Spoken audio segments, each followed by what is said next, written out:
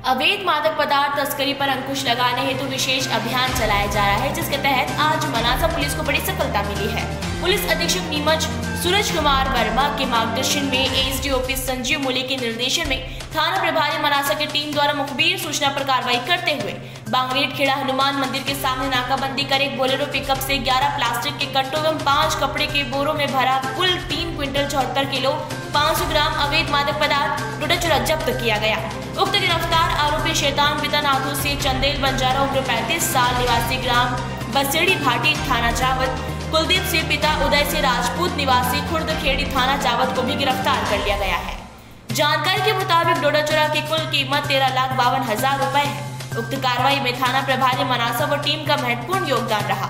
आज हमारी टीम द्वारा मुखबिर की सूचना पर एक पिकअप जिसमें पौने चार क्विंटल डोडा चूरा था, उसको जब्त किया है और एक आरोपी जिसका नाम शैतान बंजारा है, जो गाँव बसेड़ी भाटी थाना जावत क्षेत्र का रहने वाला है, उसको गिरफ़्तार किया गया है।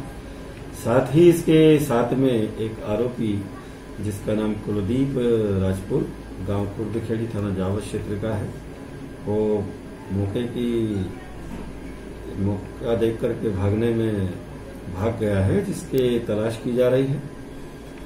उक्त घटना पर हमारे द्वारा एनडीपीएस एक्ट के तहत प्रकरण दर्ज किया गया है।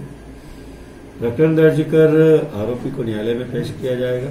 वहाँ से पुलिस रिमांड प्राप्त कर मामले में ये रोड़ा चूरा कहाँ से इसको लिया गया है, इसका स्रोत क्या है, और कौन कौन लोग इसमें संलिप्त है, साथ ही इसका गंतव्य ये कहाँ जा रहा था कौन ले जा रहा था?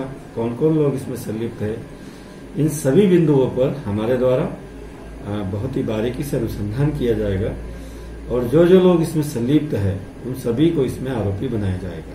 करीब कितने लाख की इनका जो कीमत का आकलन किया जाए तो ये लोग अभी दो हज़ार रुपये किलो के हिसाब से इसको खरीदने की हमें जानकारी मिल रही है। इस तरह से ये करीब आठ लाख रुपए कीमत का टोला चोरा जब्त किया गया।